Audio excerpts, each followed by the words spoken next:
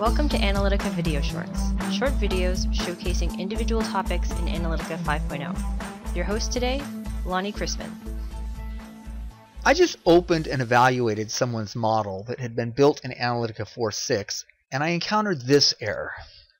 Shoot, you know, it worked fine in 4.6, so why this error now? Ugh. Well, I've seen this a couple times before, and never fear, this is an easy one. So I'm going to show you what to do about it and then explore the issue in some depth. Your first and usually best option is right here at the bottom of the error dialog itself. You can just turn on this preference right here and be done. Save your model with the preference change, of course. In several cases where I've actually experienced this error, this completely solves the problem. So if you're experiencing this, there's a high probability this will solve it for you too. But let me dive a little deeper. First, let's understand what the error says. It says you use the plus operator on a text value, something like hello plus world. And of course, that's bad, bad, bad. If you want to concatenate text, use the ampersand operator. We call it the text concatenation operator, hello concatenate world, which evaluates to hello world, with no space between words in this example, of course. So this error is not new to release 5.0. Analytica has been issuing a warning message for this taboo for like the past 15 years. What's different is that this is now a hard error, not just a warning, and you can't just ignore and continue through a hard error. With the new preference on, hello plus world evaluates to nan, that weird not a number value, without issuing any error or warning. If the final outputs of your calculation actually depend on the concatenation, you'll see the nan values propagate to your final result, and that would mean that this preference by itself wasn't enough to solve the problem for you.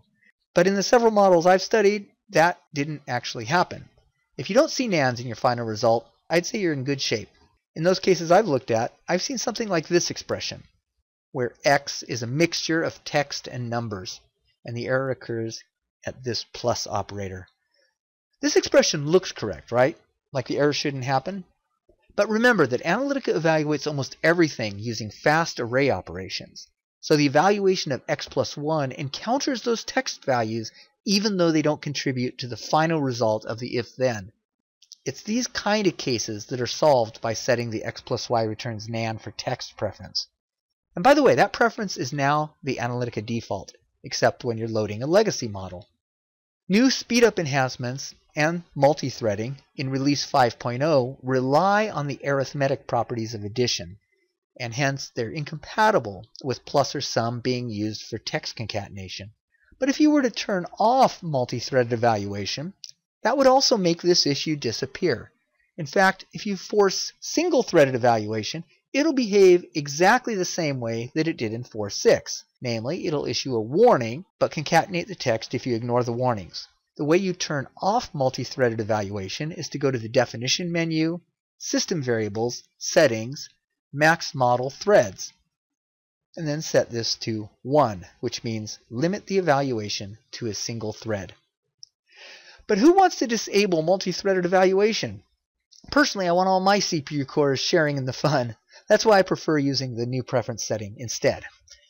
If you see nans in your result, then you need to change your model to use the concatenation operator instead of plus. In that case, you'll have to find out exactly where the problem occurs. To do that, go back to the Edit Preferences dialog and turn the preference back off. You might have to dirty an input to force your model to recalculate cached results, but then evaluate your model again to get to the error message. Once the error message shows, press yes to jump to where the offending plus is at. Finally, I'd like to comment that having both text and numbers in the same array when that array is used in calculations is horrible style. I mean, that's what's happening in these models. If you need to do something like this because of a mixture of text and numbers in the same array or same table, your model was poorly structured to start with. In a well-structured model, this problem should never have occurred in the first place. But today's topic is not on good modeling practices or style, so that discussion will have to wait another day, another topic, another video. So that's it for today. Thanks for watching.